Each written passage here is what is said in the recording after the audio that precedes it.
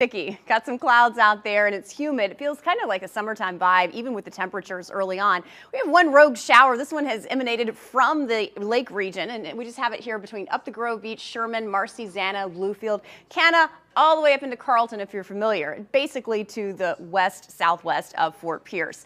Other than that, it is quiet everywhere else. We have 68 as the cool reading on the map right now in Okeechobee. Good morning. It's your Tuesday, first Tuesday of the month of April. 68 as well in Boynton Beach, but remarkably different down in Boca at 77. Got 79 at our station in Jupiter. Now these are sensors, so they you know, vary a lot, but between Jupiter and Palm Beach Gardens, upper 70s, 74 in Stuart and 74 in Fort Pierce. We're going to rise quickly today after our sunrise, uh, shortly after 7. It looks like 81 as soon as 10 a.m., 85 by 1 o'clock, and 85 to 88 later on this afternoon. The record high set back way in 1946, it's 92 degrees. Don't think we're going to be quite that hot, but we are going to be well above the average of about 82 this time of the year. Not a lot happening on future track. We're just really stable. High pressure dominant for most of the work week. Things start to deteriorate, though, a little bit by the weekend. There's going to be a system that moves through basically low pressure, and it's going to up our rain and storm chances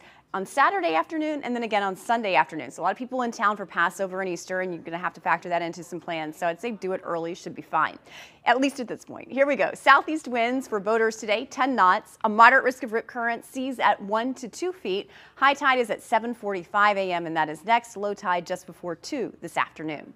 Your certified most accurate first warning seven day forecast. A picture of consistency all the way through Friday. 88, 87, 87, 86. The constant, the sun sunshine. The lows are going to be hovering here with a lot of humidity in the low 70s. Then by Saturday, a late day storm chance, and then Sunday again, a better chance that we'll see some action in the afternoons. Just going to kind of destabilize with the heating and some uh, triggers with low pressure. So between Saturday and Sunday and Monday, count on some afternoon showers and storms. Just take the umbrella with you and you'll be all good.